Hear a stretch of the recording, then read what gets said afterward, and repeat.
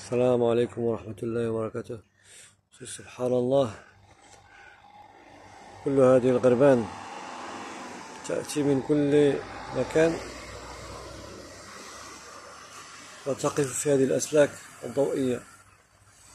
ماذا تنتظر يا ترى؟ سبحان الله. تنتظر أن ترى شروق الشمس من مشرقها. سبحان الله. كل يوم هكذا. تأتي وتقف في هذه الأسلاك وتنتظر شروق الشمس إذا أشرقت من مشرقها. سبحان الله. والله شيء يعجبه يعجب له الشخص. علينا أن نفكر كثيرا في أحوالنا ونعود إلى الله ونتوب إليه ونستغفره. سبحان الله. انظروا هذه الطيور لديها فطرة وضعها الله فيها سبحان الله. ما أعظمك يا الله؟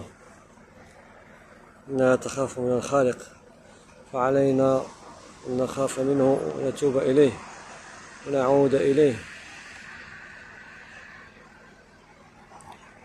تأملوا في عظمة خالقكم واستغفروه فإنه غفور رحيم.